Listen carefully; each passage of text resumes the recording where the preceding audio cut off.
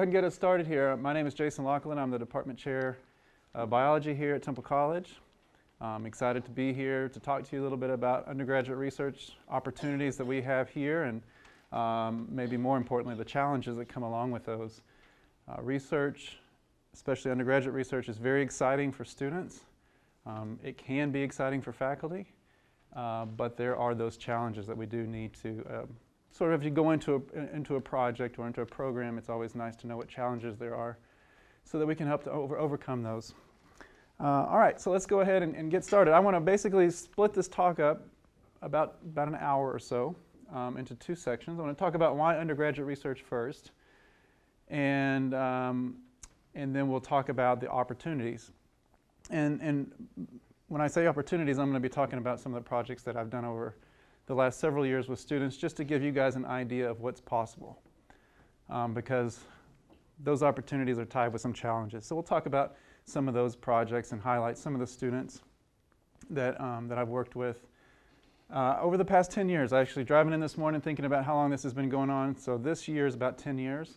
Uh, and I've, I think this is a handful of them. There are a few more that I get photos of. But we'll highlight some of those, uh, some of their projects as we go along this this talk. So first, let me, let me sort of set the stage with the problem. The problem with biology education, and then why should we pursue research opportunities? So one of the big problems, and, and many of you in biology classes now know that biology as a whole is a very content-rich area. And that content is increasing every single year exponentially because of all of the research that it is spitting out. So one of the big challenges is how do we go about educating students that are coming into the system? Um, what do we teach with all the content that's there? Um, sometimes we just want to include more and more and more and more, and it becomes overwhelming and pointless. So how do we how do we handle that? Much of this research, much of the research explosion, really, I think, came from the discovery of DNA and the DNA structure from Watson and Crick. Um, with that came a huge explosion of, of, of, of, information from the 1960s and since. If you look at the number of biomedical papers, so this is just biomedical articles that are coming out annually. Over here on that y-axis is um, the number in thousands. So down here is year. This is a little dated. This only goes back to 2010. But in 1960, for example, we were, we were producing about 100,000 articles a year just in biomedical science. Jump ahead to 2010, we were um, approaching a million. Certainly by now we're well past that. And so you can see that there's a lot of information coming out. Um, it also means as an educator or a researcher, you're reading about 10 times more today than you did just 20 years ago. And that's just to keep up. Okay? So how do we do this, right? How do we approach this? So in 2003, actually, 2003, there was an initiative put out by the National Research Council. It was called Bio 2010. And this initiative was there to sort of set the stage for rethinking how we educate biology students. Um, how, how, do we, how do we deal with this content that keeps coming out and keeps inundating us with information? And so this initiative really redirected or refocused our emphasis on methodology and critical thinking and, and, and, kind of pulled back a little bit on the content. And so with that, of course, undergraduate research opportunities were part of this initiative because as, you, as you'll see, methodology is huge, critical thinking is maybe even bigger with how we do these projects. Um, so that was certainly part of the initiative. And many, uh, many four-year schools jumped right in for undergraduate research. Community college, uh, community college institutions have been a little bit more reluctant for some reasons I'll talk about here in just a second. but um, the undergraduate or the, the Research Council did define undergraduate research, and I, I wanted to put this up here because I want to, at the very front here, talk about what it is and what it is not. So it says here that uh, it's an inquiry or investigation conducted by an undergraduate in collaboration with faculty mentor that makes an original intellectual or creative contribution the discipline. And that's, that last part's really key because I'm not trying to get students in there to do science fair projects. I'm not trying to get students in there where I already know the answers to the questions that we're asking. We are doing research that's that's adding to the discipline. Okay, so there's a big difference. Science fairs have their place, um, but when we talk about undergraduate research, we're not going to waste time with things that we already know the answers to. We are promoting the discipline. We're trying to add content in a meaningful way. Okay, so that's, that's key. There are a lot of different kinds of programs. Um, four-year schools especially have a lot of these National Science Foundation uh, supported programs. They all basically have uh, undergraduate research in them, and there's slight, subtle differences between all of them. But overall, what this really documents is that it is well supported. Undergraduate research experiences are well supported, and they are, or at least have been prior to 2010, they have been well funded. Um, National Science Foundation is, as, as everything else, is getting cut, but uh, we can still take some opportunities and, and there is still some money available. so, let's talk about benefits. Let's talk about the good stuff first. Uh, here we are. This is a science club, actually, 2012. We went to Sul Ross University out in Alpine. Actually, Dr. Lyles is here uh, today. Uh, went out with us on that trip, uh, as I remember. Um, but here we are getting ready for the annual banquet, banquet at the Texas Academy of Science meeting. I think Reagan, were you on that trip? No. Next one, okay. Uh, so we're, we're getting ready for the annual banquet, um, specifically the award ceremony that night. But let's talk about some benefits. so one thing is that students, from a student's perspective, you get to learn about the issues, the methods, and in some cases you either get to work with or you get to meet leaders in the field. Okay, sometimes world-renowned experts in something that you may be very interested in. Uh, you get to apply those concepts from the courses that, uh, that you sometimes may struggle to make connections with, like calculus or basic algebra. Like, why do I need to know these kinds of things to function in the real world? And if you're in a research lab, the real world is that research lab. And so you get to apply those concepts. You can understand why those, why those concepts that we're drilling in, in the lecture classes, why those really uh, become very important here. Uh, promoting your creative achievements, of course, that's, that's, that's great. You get to go perhaps present your data, present your research to conferences or, or perhaps even publication. Sharpening your problem solving skills. Uh, big one is exploring your potential careers. And I'll talk a little bit more about that in a second. But if you're at all remotely interested or think you might be interested in some kind of research, now's the time to find out. So I'll show you some slides in a second, but basically, if you get in now and you decide this is not for me, I hate it, it's a great time to pivot away from that and do something different. It's a lot easier to pivot away from it now than it would be after your graduate degrees when you're sort of committed at that point. So potential careers, if you're at all interested, you think you might be interested, undergraduate research is a great place to figure out, is it for me? Uh, you get to enhance those professional communication skills, again, through either conferences or uh, through manuscripts and publications, preparing for graduate school and, and, professional school. I know many med schools now are looking for students that have research experience um, as part of the package. And then networking with others who share your interest, okay, whether it be a really, really small interest in fungi or whatever it is that you're interested in. You get to meet people at conferences and you get to work with them. Here's a group of us. Um, I think this was at Texas A&M Galveston.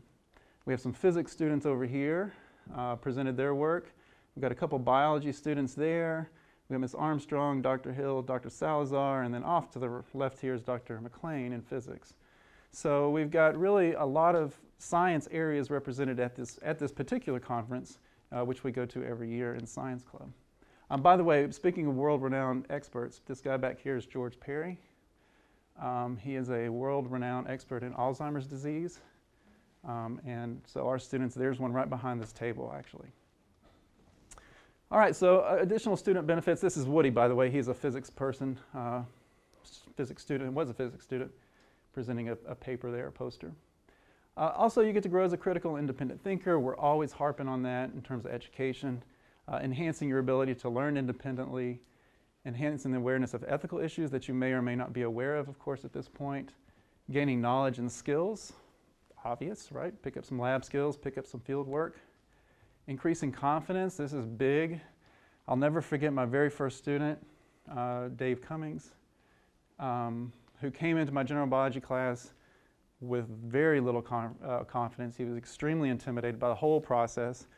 um, and just a few years ago graduated. He's a medical, he's a, he's a doctor now.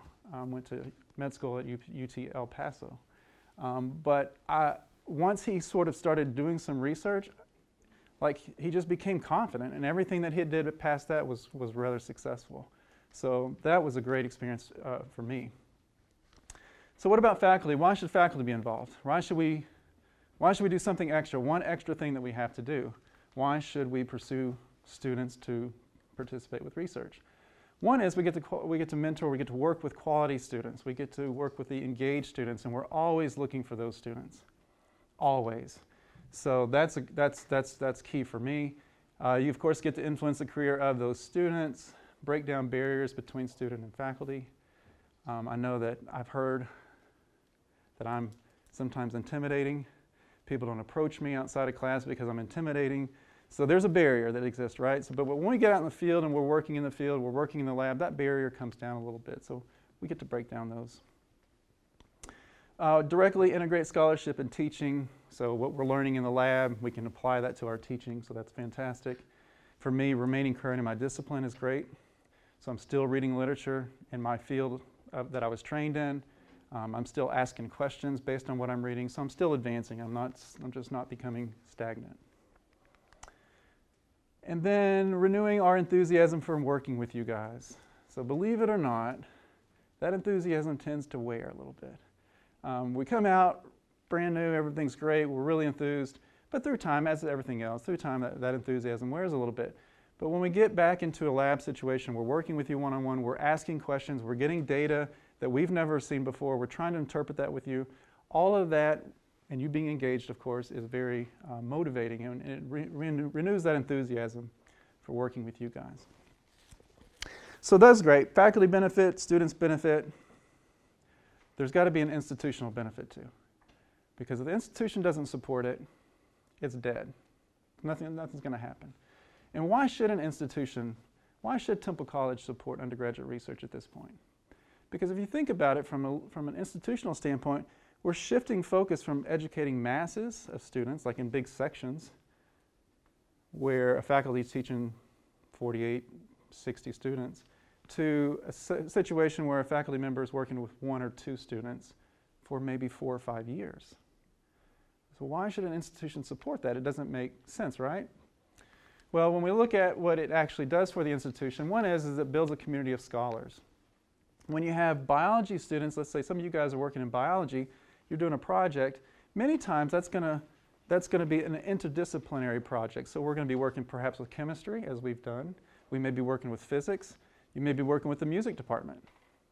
Um, there's all kinds of interdisciplinary um, interactions that take place, and building a community of scholars is one big institutional benefit. It sort of, it sort of increases the vibrancy of scholarship on campus. Um, it also deepens the relationship with alumni. So those alumni that had undergraduate research experiences at some point, what they have reported is that they experience higher gains in their education, which consequently leads to more involvement, which promotes and raises the institution's visibility. Okay, so we like to have happy alumni, and what we tend to see is that if they've had an undergraduate research experience, particularly a successful one, that's going to, you know, it's going to weigh in on the, on the institution very well. Enriching the curriculum, we're not just teaching classes here. So enriching curriculum, we have a really uh, deep curriculum. We have some classes, of course, that are standard things, but we also have some, some research that's taking place. Um, institutions like to see that. Student success, another really big institutional benefit here. Believe it or not, the state of Texas is now funding uh, institutions of higher education, not only by how many we have, how many students we have, but how well you guys do. So part of our funding is how well you're doing. And how well you're doing means not only how well you're doing in your classes here, but do you get an associate's degree? Do you get a bachelor's degree? Do you go on further than that? And with every step you make, TC actually benefits from that. So institutions love to have our students succeed, not only here, but past here. And so when we look at student success, there was a, there was a study done with 15,000 students that did um, undergraduate research experiences, and 88% of them said that they had a better understanding of science. That's huge. That's, that's, that's something that they didn't get in the classroom. They got it through research. 83% increased their confidence in their skills. 73% were more aware of what grad school is like. That's fantastic. You don't want to learn once you get there. If you have an idea about before you even apply, that's good. And then those that did an undergraduate research uh, experience had uh, a much better success, or at least a, twice as likely to earn a PhD later on the, down the road. Within the STEM areas, if you look at the STEM areas and you ask those 15,000 students about their interest in STEM after the fact, so the blue here represents about 68% of those that were surveyed that had experiences said that they have an increased interest in STEM related fields. That's great. 68% increased their interest uh, after the fact. Only 24% said they didn't have any change. All right, so that's fine. But look at this 8% of them actually decreased their interest.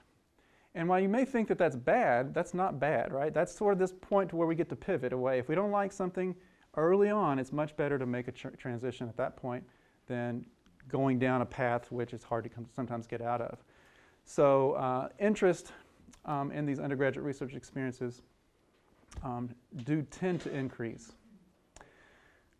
All right, finally, challenges. Time constraints, both students, faculty, we all have these time constraints, especially community college students. Right? Typically, you guys are working maybe full time, maybe you have families, you have all these other outside obligations, maybe you're taking a full load of classes. Where else can you squeeze in something else? And research experiences always take more time than you ever, ever anticipate. So, time constraints, that's something to be aware of. Um, faculty tend to have a harder time identifying the ideal student. At four year schools, that's not the case. Four year schools, if you go in as an undergraduate and you're trying to do some undergrad research, uh, you typically don't do that to your junior or senior year. And the faculty there have had two years, maybe three, to kind of get to know you, figure out if you're going to be ideal or not. Uh, we don't have that luxury here. I mean, I'm taking in freshmen right out of high school um, into the lab, and I'm kind of rolling the dice. I'm hoping for the best, but there's really no there's no means for me to select ideal students versus non-ideal. It's just it's just the way that we it's just community community college uh, life uh, is that we just don't have you here that long. Research space and equipment, another big one. We do not have the capacity community colleges are not designed for research institutions to be research institutions. Um, compare that with some universities, like if you were to get hired at a university and you're going in as a researcher, it is not uncommon for that university to give you $100,000 just to get your lab set up. Okay, that's not going to happen here. And so, how do we overcome that? Right, so I'll show you some, some ways to get around that. Administrative support and funding, another challenge sometimes at a community college. Uh, again, going back to why should we focus in on just a handful of students again? I'm not understanding this versus the big groups. I will say that since I've been doing it, TC leadership um, has never ever flinched. So they've been on board the whole time, uh, which is very fortunate. That's not the case everywhere.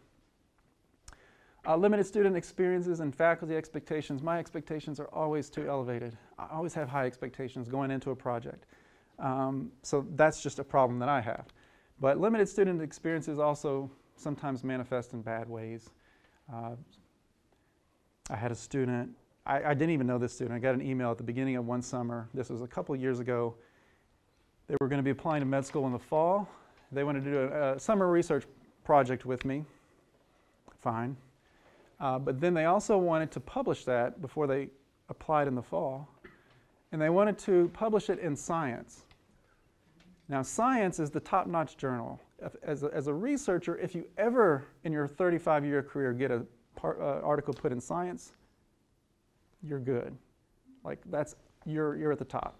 So here's, you know, this is an unexpected, student unexpected, uh, uh, limited experience kind of uh, consequence of just not knowing how it works. It takes years and years and years to get a manuscript worthy enough of science unrealistic uh, student expectations. Another challenge, biological timetables, life cycles. For biology, we're not chemistry, we're not physics. We can't necessarily plan on doing a reaction from 8 to 5 to get data. Biology, the organisms are working on their own time scales. If you have to come up to the lab at 3 a.m., to measure something because that's what time is going on, that's what time you have to come up. Um, and sometimes that's a challenge for our schedules. Okay. Opportunities.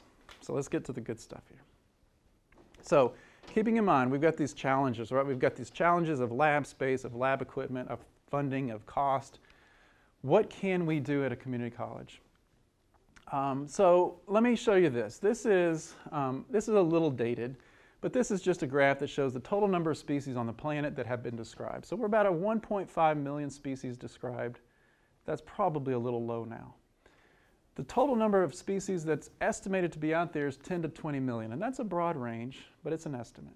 So we're still not even there. But let's just take the 1.5 million that we know that's out there. 750,000, more than half of them are insects. And then the rest, so insects plus other animals, makes up about a million animal species out there. About 250,000 plants, 70,000 fungi, 58,000 protists, and around 5,000 bacteria. All right? If we take the animals, which is what I tend to focus in on, the animals, and we look at this, so this is the animals, one, one million species of animals. All of these are insects. So look at the pie. Majority of the animals, of course, are insects. Uh, there's some spiders, so there's some invertebrates. There's some invertebrates right there. But then let's let's just just relatively speaking, let's look at the mammals. Mammals make up this much, about 4,000 species of mammals. And so there are people that study mammals, of course. But at our setting, where would you go if you want to ask some meaningful biological questions that you can use pretty much any model specimen that you want? We got tons of things out here, right? We have tons of opportunities that are, uh, that are available for us to get out in the field. Don't have to be in a lab situation. We can go out in the field and that can be our lab. And that's what my approach has typically been. So let's talk a little bit about those projects. Um, I'm going to talk about damselflies and dragonflies, and I want to, I want to show you a real quick difference that you can spot in the field. This is one of the specimens that we've uh, used before.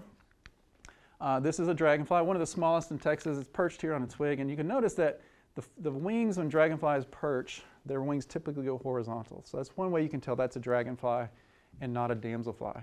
Um, here's another one, a Halloween pennant, another big uh, popular one here. But the wings are held horizontal, not vertical. They're also a little bit more robust than the damselflies. So dragonflies, I'll talk a lot about these. These have um, some, some significant uh, in my lab. Uh, here's a damselfly in contrast. So these are much more dainty, not as robust, uh, much thinner abdomen, but then their wings typically are held more vertically when they're perched like that. Okay? So we've used both of these, damselflies and dragonflies. We've also, of course, been working with um, monarch butterflies and the migration. I'll talk about why, why we look at those and why we're using them. This was actually taken out here in the butterfly bed here, a couple steps away from this room, um, where you've got the adult there, you've got the caterpillar there, and eggs not visible here, but they're certainly on those plants. So we've got really everything going out there in the uh, butterfly bed. And then more recently, um, picked up zebra mussels. Zebra mussels, terrible that they've been introduced here in Texas, but again, usually with bad things come opportunities. So we don't like them to be in the lakes, but they do give us a great opportunity to ask some really meaningful questions because we're really on the southern edge of their distribution. Um, they're in uncharted areas, and so let's take and see. Let's take a look and see how they're doing what they're doing. So let me focus in on a couple dragonfly, damselfly topics. Let me show you what some of our students have done, what kinds of questions they've been asking. And there are three general areas where I use dragonflies and damselflies as the models to study these things. So there's this idea of fluctuating asymmetry. We'll talk about that, parasitism, and then this concept of polymorphism and the genetics behind polymorphism. So let's talk with, about fluctuating asymmetry.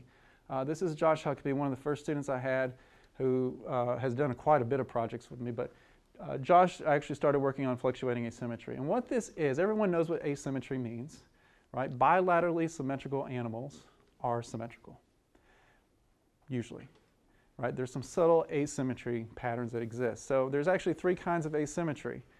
If you have a right claw that's always bigger than a left claw, that is a type of asymmetry called directional asymmetry, meaning it's always that direction.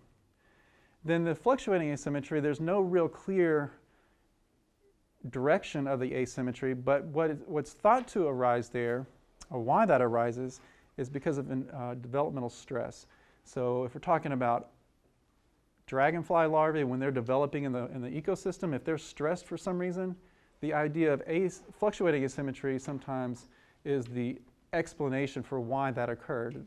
Offspring was, or the, the, the developing um, larva was uh, uh, stressed out, maybe too high temperature, maybe pesticides, whatever, and it comes out a little bit asymmetrical. So we'll look at that.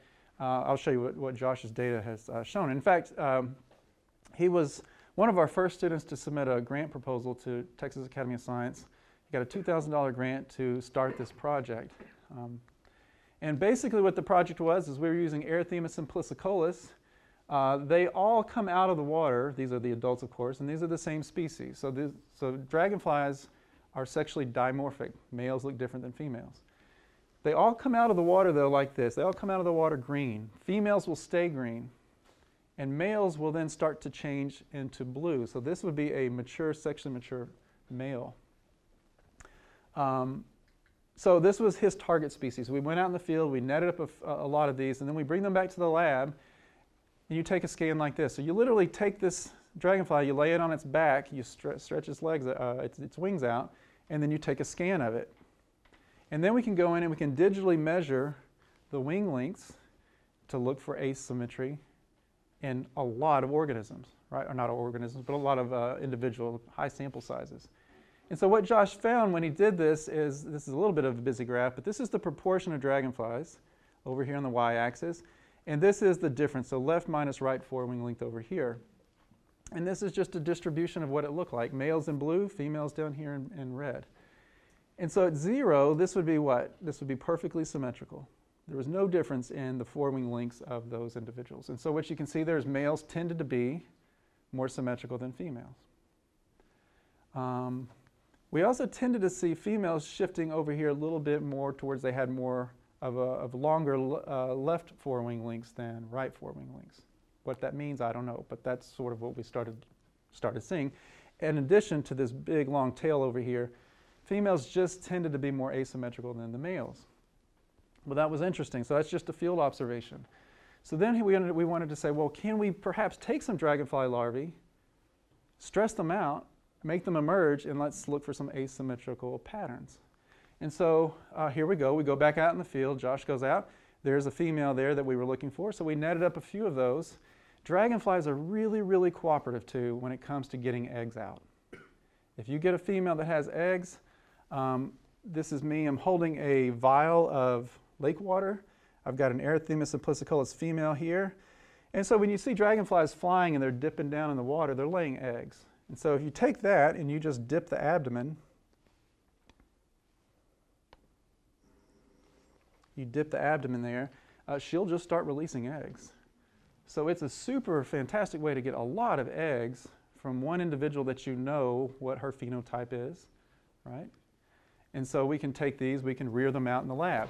So we did. We took all these eggs, we put them in an environment, we hatched them out, so to speak. Uh, we then transport them in each individual into one of these partitioned petri dishes in the lab. Because dragonflies are ambush predators, they don't just eat dead things. So guess what? We have to go out, we have to collect living food, plankton nets. Here's Josh throwing a plankton net, collecting living things. He has to then uh, filter that out. We have to go in. He has to feed each individual one, uh, each individual uh, dragonfly larva plankton until they get big enough. Once they get big enough, then you can start feeding them other things other than plankton. And so then we can start um, actually rearing some food in the lab. And so over here on the right is what a dragonfly larva looks like if you've never seen one. Um, and what we're going to do is there, we started rearing um, annelids, white worms, in the lab and I'm dropping one down there, and as it's falling down, the dragonfly will not eat things that are not alive. It has to move for the dragonfly to be stimulated to eat it. So that's an ambush predator because as that worm gets closer, it's going to detect it and it will attack it quickly.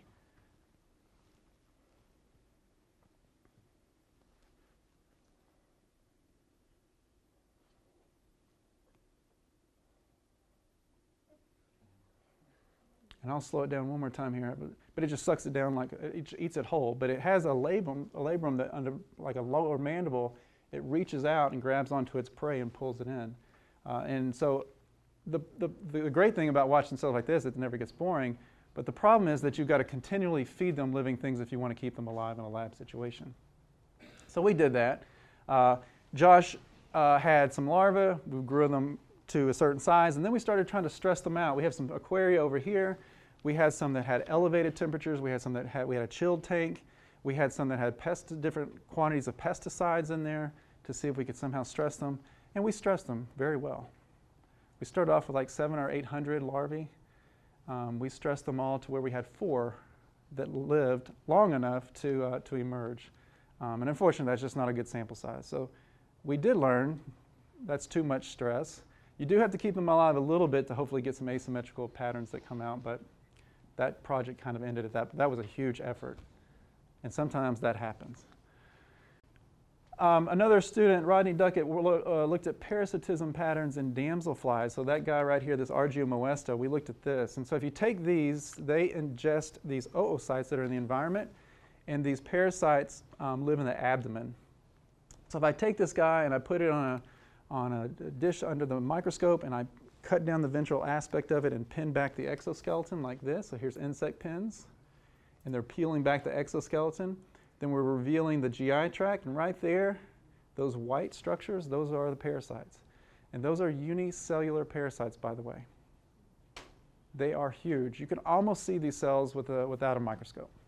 So they're super easy to see, um, but we went in and quantified that's a very easy technique. So what Rodney wanted to do was to say, well, what kinds of uh, environmental dynamics exist where one population might have a lot of parasites and another population may not. Same species, but different, different parasite loads. And so what we did is he tested this hypothesis that populations associated with running water systems, what are called lotic systems, so if you're Argia moesta living along these banks, the oocysts that you would typically ingest when you eat or drink are going to be in the water. And so we, we suspected that oocysts are getting washed downstream constantly. And therefore, it would make the population very, it would make them very rare for them to, come, to encounter, I guess, the oocyst. And so we su suspected that in a system like this, you would find very low parasite loads. And in systems like this that are called lentic systems, where there's no flowing water, you would find more uh, you'd find more parasitized populations. And so what he found, uh, quick, quick uh, few graphs here, he looked at the lotic prevalence. Prevalence means percent infected, percentage of the population infected. So for example, 60% of those at Nolan Creek were infected with these parasites. Uh, so here's the lentic prevalence, there's the lotic prevalence. You can see there, there's nothing really, really nothing stood out for us. Uh, no need to even do any stats. Then we looked at lotic intensity. So intensity, you can sort of think that like a parasite load. Uh, the intensity is looking at the average number of parasites in the infected individuals. So if you are parasitized, you are carrying a parasite load, okay? And so that's what intensity is. It's the, it's the parasite load. And so, well, what did we find? Well, here's the lotic intensity. Look at that. Nolan Creek had a lot of parasites, relatively speaking, to the, the river channel behind Stillhouse Hollow Dam. But then over here, we have just the opposite. So nothing really stood out, um, which was fine. Kayla McCormick then came in and she wanted to look at the same kinds of things. What could govern the differences in parasite distribution in these populations? And so she wanted to test the idea that maybe it's about population density. If you're living in a really dense population, perhaps there's more environments for the parasites to thrive in. They could get passed from one individual to the next very easily. And so that's exactly what we did. We went out uh, we're looking at the density of the host over here, and here are the various sites that we went to. So we just, we just laid them out from low density to high density. Highest density uh, population for, still, for the uh, damselfly was Stillhouse Hollow Lake. Um, and so we expected the prevalence or the intensity, either one, we didn't care. We expected it to follow that, that pattern. Um, and this is prevalence, parasite prevalence, so that's the percent infected, and here's intensity. Uh, we didn't really run any stats on this because our population sample sizes were pretty low. If we had to do it again, we could perhaps do it again. We just haven't. But there, whoops, there is per, perhaps something going on there. We just need to probably further investigate that. She did get to present this um, at a conference, though. Presented her poster. Um, let me talk quickly about this one. This one's cool. And then we might skip I'm running out of time here. Let me skip a few things, but let me let's do polymorphism research. This is uh, this is uh, Evan Gehring. He's a he was a PhD student at UT Austin when we started this, Josh again is back in the picture.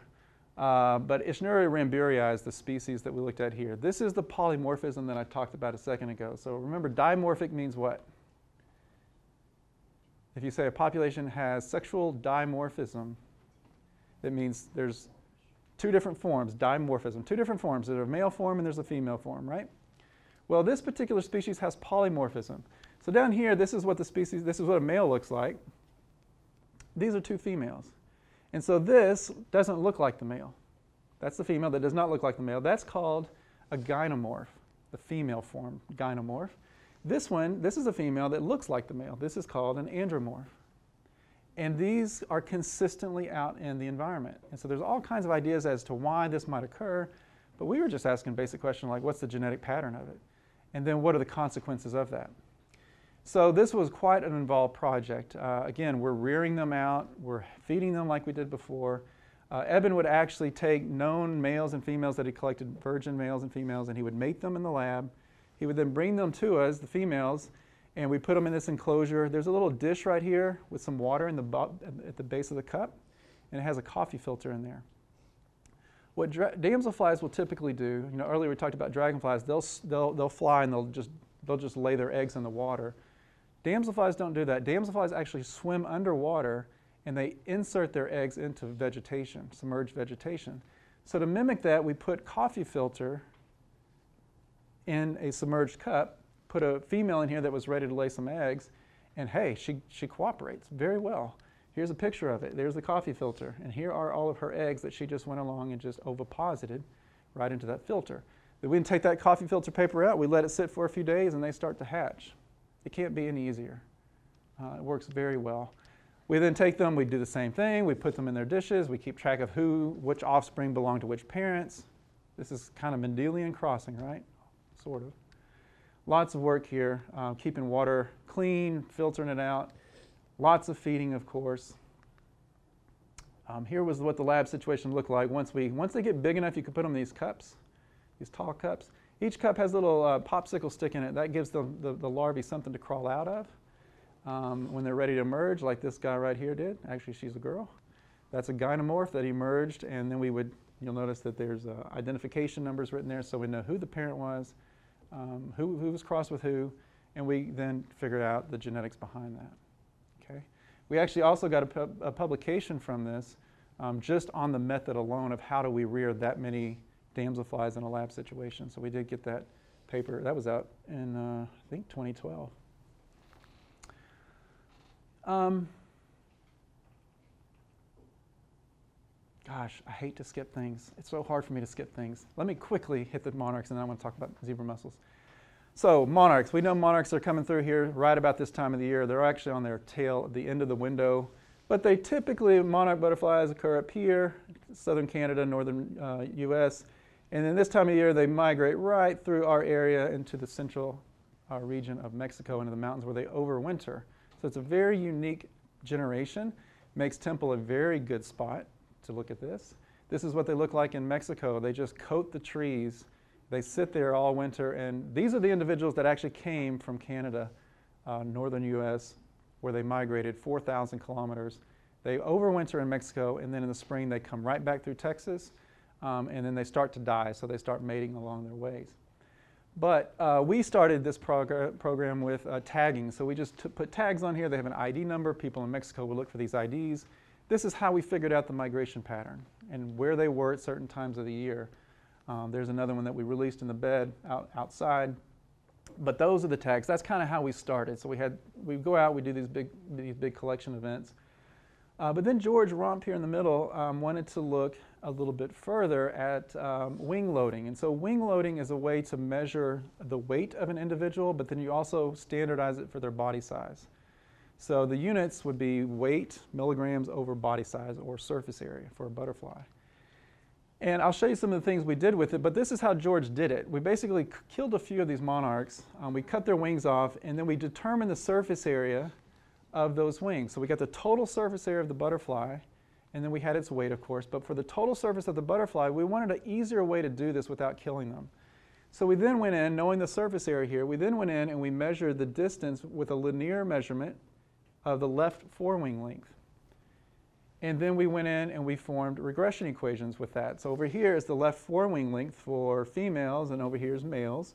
And then over here is the surface area of the butterfly. So here's our regression equation where you could basically say, all right, I'm going to go in, I'm going to collect a butterfly, I'm going to scan it like that.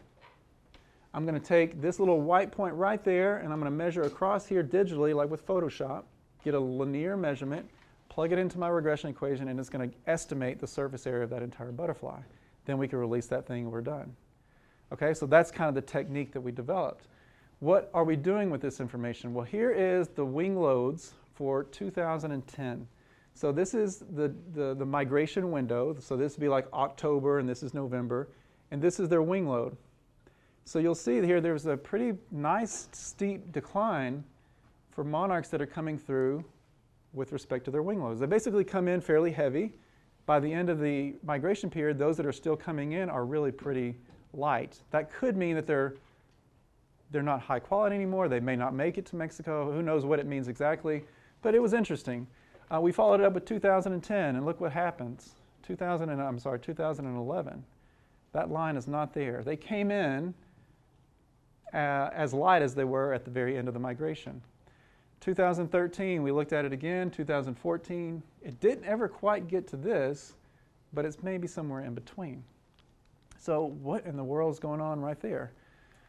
Well, we started looking at what could cause this. So, we looked at 2010. We looked at the drought index for Texas. This is October, this is November of 2010 when, when we had that nice decline in wing load, as perhaps is normal. I don't know.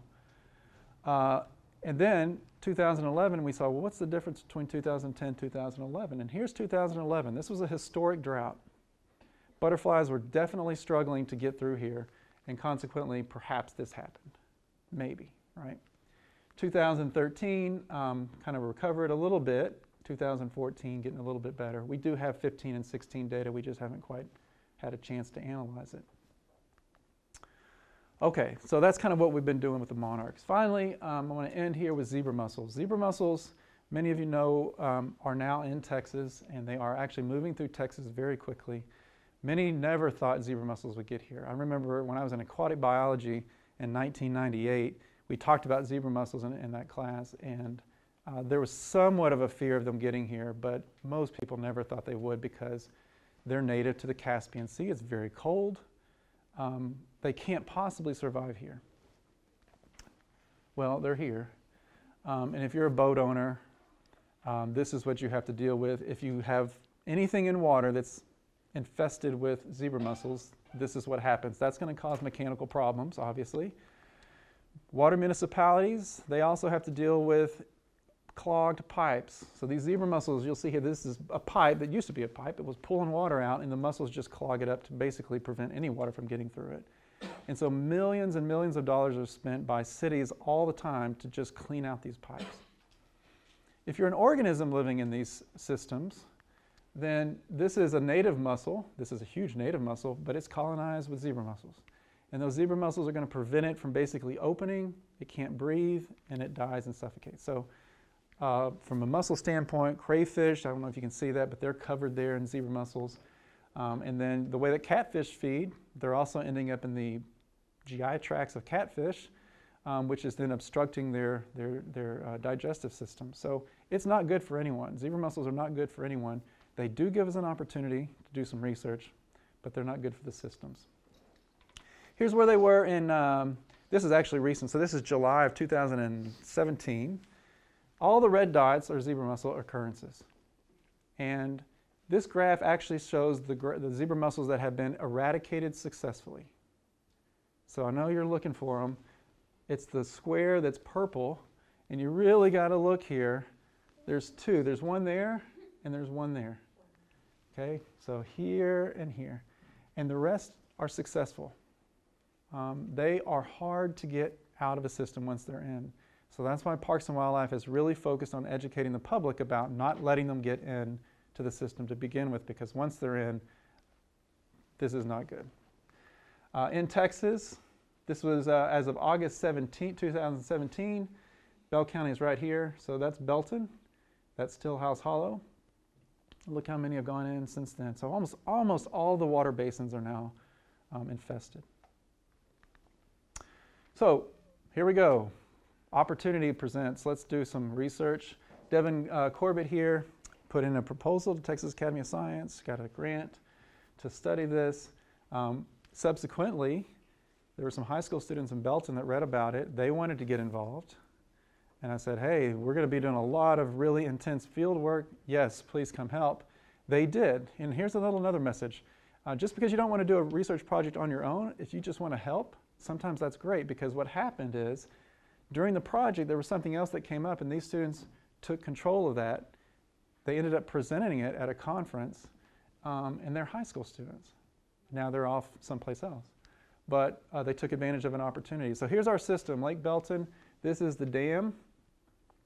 Um, this is Frank's Marina. So that's our study site at the beginning here. We started there and this was a, a great system. So we had this was the walkway. We literally parked here. We walked onto the marina, walked right over here. That's where we, that's our sample site.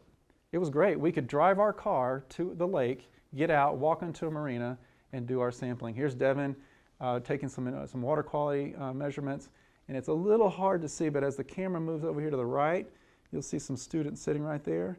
They're doing some zebra mussel counts. Okay. So what happens here is we drop these chains all the way from the surface to the bottom we drop three chains every month. We then retrieve those chains every month. And um, Zach's here doing some counts. And then we're, of course, recording that data. Um, and this is what we found. We found that there was a difference in the distribution vertically. So this down here is water depth. So this is the surface of the water top. And down here is 23 to 24 meters in depth. And so um, and this is 12 weeks. What we found is you have to have the chains in there about 12 weeks for anything to really happen, for them to colonize and for them to at least get big enough to where we can see them. So for March, the chains that we put in March, after three months or after, uh, after 12 weeks, there's really nothing on them. There was a few down at the very bottom. This is the very bottom, by the way, um, because something happened here called a flood. So the water went way up. But this was the bottom at this time. So they were at the bottom. There weren't a few, I mean, this is the key. So there's 18 per square meter there. This is not a lot, just, but they're at the very bottom. Our April chain, after 12 weeks of colonization, look at those numbers. So there was almost 1,500 zebra mussels at that depth of about 11 to 12 meters per square meter. That's a lot. They were almost stacked on top of each other on the chains. And then, for some reason, look what happens for the rest of the month. So this is just the flood. This is why it's so deep here. And then it quickly rebounded and we go back to normal levels. So interesting, something happened here. We don't quite know what, but I took these chains, I took this set of April, and I then looked at it. What does it look like over the next subsequent few months? So this was the July measurement. This is what I just showed you. So nothing at the top, nothing much at the bottom, but right in the middle, big cluster here. And then in August, the next month, they were still there although they went up a little bit in their elevation for some reason. But then look at that, nothing. Huge number died off. And so a lot of people are sus suspecting that at subtropical systems like ours, they may get in, but they have a really hard time maintaining their population numbers. We're going to have a lot, they predict that we have a lot of, of, uh, of crashes, population crashes because of things like elevated temperature. In this case, I think this is flooding, brings in a lot of nutrients from the watershed, robs the water column of DO, dissolved oxygen, and perhaps causes things like that. And so we were getting this information, this was cool, but, but during this flooding event, here's another opportunity that those high school students jumped in on. During that flooding event, here's my parking lot that I thought was so cool that I could walk onto my marina from. Well, now we're using a canoe to get to the parking lot. Um, and we had to do this for just about three or four months, I think. Um, but we, we did. So there's our flooded parking lot. Uh, the lake came up quite a bit. This is a hydrograph showing us through time. This is water level. So this is feet above sea level. Lake Belton is normally about 594 feet above sea level. That's the normal elevation. Um, this is, this blue line is the actual elevation at this particular time. So this goes back to 2013, well before we were actually doing this. Our study didn't start till March 16, but this just kind of gives you some historical information about it. But here we had a little bit of a peak and then it goes back down. We hovered above conservation level and then this is the big flood. This is when I was using the canoe to get to the marina. So after all of that took place, we thought, well, you know what? We had this really interesting peak right here that was well above the peak from any previous flooding event. What if we went out during that time and we went around the lake and we looked at this particular, I'm sorry, we, we looked at this elevation, so 605 feet above sea level. We went to that elevation and we looked for zebra mussels. All right, they're not in the water anymore because at this point in October when we actually do this, we're, we're back to normal. But what that would do, it was to capture this amount of, of colonization that took place during that flooding, which was about 52 days. So we could look at colonization during that time. We could also look at growth rates to see how they grow here relative to other places. So we did. This is a aerial shot of Lake Belton. You can see these little red circles. These were our sample sites. We just basically went to boat ramps where it's easy access. We went up and uh, there is a measure, there's a, there's a tape measure laying right there, hard to see, but that's at 605 feet above sea level. So that was the point that that uh, amount of water was underwater, that those rocks were underwater for about 52 days. We then randomly selected three of those rocks. They basically look like this. Took them back to the lab, started to count. And this was tedious. Um, they were dried shells at this point. They were breaking off, right? Things were coming apart. This was not going to work. We, about three hours later, after this first rock, of counting this first rock, we decided this is not going to work. So we said, well, how can else we do this? We can do, hey, I, I, know something about regression equations. Let's do this. Let's take, scrape off all these rocks, or all these mussels off this rock. Um, let's put them in a little dish. Let's count these, but let's put them in a dish and then weigh them. And that's what Raul is doing here. He's weighing them. We know how many are in these particular cups and we're getting a weight, dry weight. Let's regress that. Dry weight down here, number of mussels over here. So let's now we can take a measurement uh, in terms of weight that can then estimate how many mussels there actually are in that sample. And that's the technique that we started to use, and it worked pretty well. Well, around the lake, this is what it looked like. If you're familiar with Lake Belton, this is Temple Lake Park. So at Temple Lake Park, during this flooding event for 52 days, there were 2.2 mussels per square centimeter. So the rocks were covered at Lake Belton, especially in the middle portion of the lake. Notice upstream here, there's really nothing up there. And I don't know what that means. Um, it may, may mean that there's just not a lot of boat activity up there. It may mean that the water is flushing things downstream. I just don't quite know. But, but this is the, the, the, the area where they were most concentrated. If we look at growth rates during that time, about 138 micrometers per day.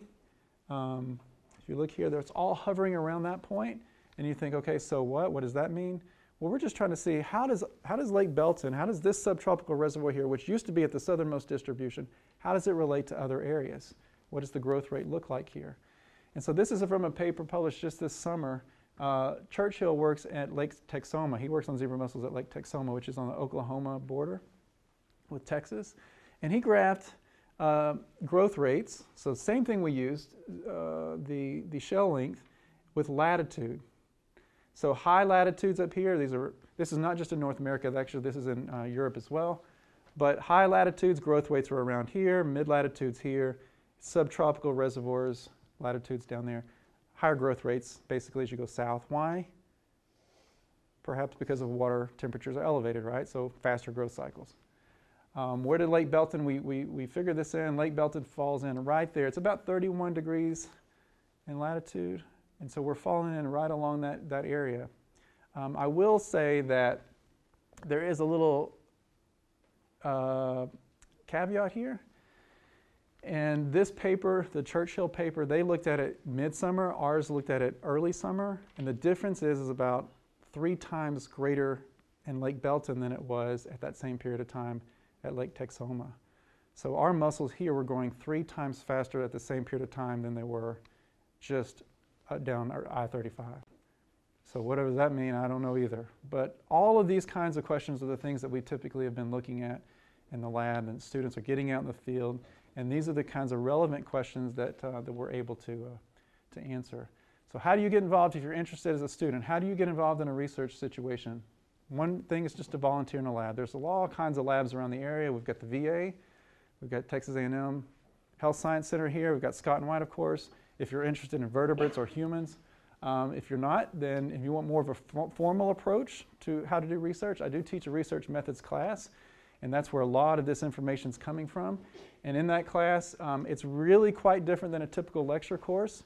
These are the topics that we cover, um, but it's also usually we have two to three students in there. So it's a very small group, um, and we work on how to develop a proposal, how to seek funding for that proposal, and then how to do the research. And we, I have at this point, there are at least three manuscripts that we're trying to work on um, from previous student presentation or uh, previous projects. So there is a good chance that it will be successful and worthy of publication because I don't really want to waste time with anything else. We're only going to do things that are meaningful. Um, so if you're interested in the class, uh, come see me because we are offering it in the spring. And um, I, I do need to kind of meet with anybody who might be, want, might be interested in taking that. I don't have a specific time or anything like that set up just yet, but if you're interested, come see me. Um, and with that, I am happy to take questions. I know we have just a few minutes if you have any questions. Yes? What was done successfully at the two sites that have eliminated juvenile? I don't know. I didn't dig into it, honestly. I didn't dig into it. I know Lake Waco uh, for, they were actually physically tried to put a tarp into an entire cove to choke out all the mussels. It was, a, it was really something to see. They had all these boats and they pulled this huge tarp, like what you would see on a football stadium, and it just covered it for like months. Um, it didn't work. So they haven't figured out basically what is making them grow at such a rapid rate? Oh, rapid rate growth uh, would probably because, be I mean, temperature. I mean, they're taking over. It's temperature. It's got to be temperature. Yeah, you see typically see growth rates increasing with temperature. There's no competition for them, they don't have any natural predators. I know I talked fast. It's hard for me to cut things out, so I just cram it down, and that's how it goes. But um, any other questions? Okay, well, thank you. If you have any, if you would like to talk about the course, or if you have any other questions, I'm, I'll be up here. So thank you very much.